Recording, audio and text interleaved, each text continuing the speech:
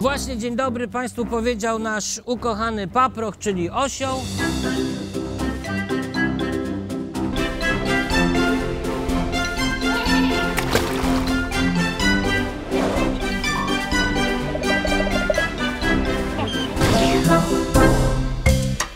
No tam czasami je w rękę nawet można brać.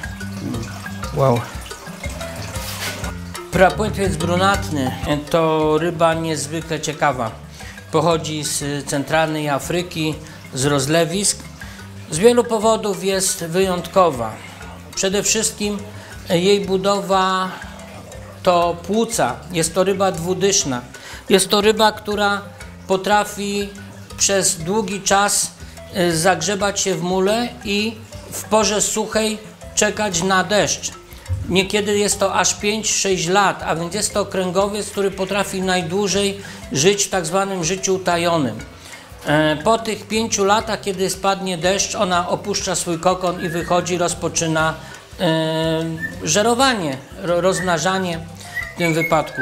Nasze osobniki posiadamy dwa, nasze osobniki są jeszcze młode, ale e, w momencie, kiedy dorosną, będą miały około 10 lat, będą miały ponad metr długości i kilka kilogramów osiągną masy. W międzyczasie w wywiadzie przeszkadza mi nasza nimfa, o której już Państwo żeście e, słyszeli.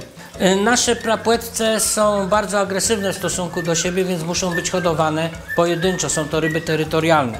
Budowa prapłetce jest bardzo ciekawa. E, Nie tylko ze względu na płuca, ale również na budowę kończyn, brak pewnych płetw.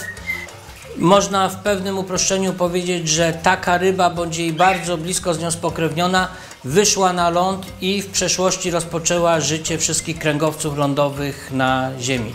Są rybami drapieżnymi, e, więc żywią się mięsem. My podajemy im drobne ryby, e, kawałki kurczaka bardzo rzadko, przede wszystkim owady większe, szarańcze, E, ale także co jakiś czas ślimaki, bo mają specyficzne zęby do tarcia pokarmu.